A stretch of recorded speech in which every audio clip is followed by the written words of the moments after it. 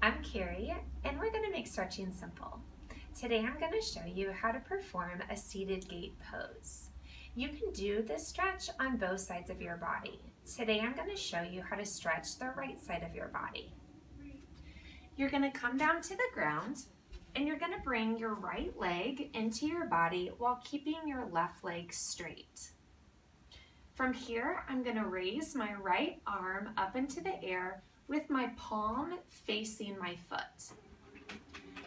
I'm going to lean over and as I do so, I'm gonna bring my forearm down to my shin.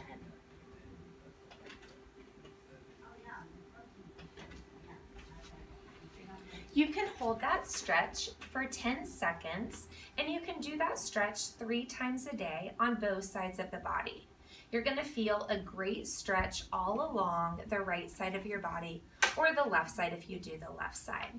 You'll also feel a great stretch right on the inner, uh, the inner side of your thigh as well. That's stretching made simple with the seated gate pose.